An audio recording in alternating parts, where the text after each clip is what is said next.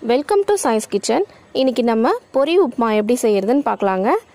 இந்த பொரி உப்புமாவுக்கு ஃபஸ்ட்டு நம்ம ஒரு பாத்திரத்தில் தண்ணி எடுத்துக்கலாம்.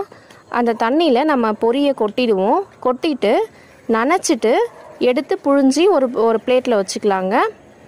நினச்ச உடனே எடுத்து பிளேட்டில் புழிஞ்சு வச்சுடுங்க. இல்லாட்டி அது என்ன ஆகும்? ரொம்ப சாஃப்டாக ரொம்ப சாஃப்டாகிடும் கரைஞ்சி போயிடும்.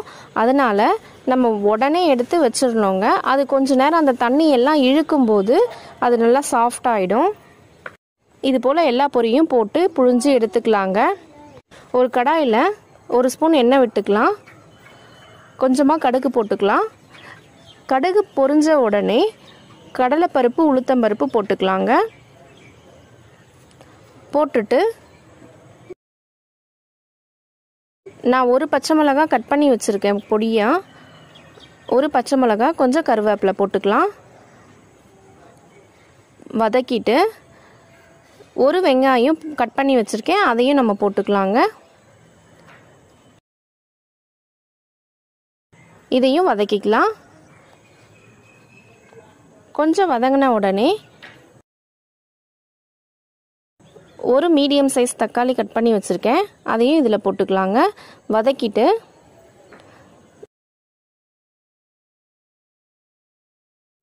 நல்லா தக்காளி வதங்கின உடனே கொஞ்சமாக மஞ்சப்பொடி போட்டுக்கலாம்.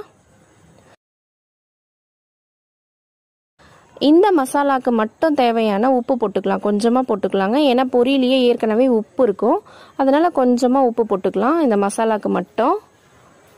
போட்டுட்டு வதக்கிட்டு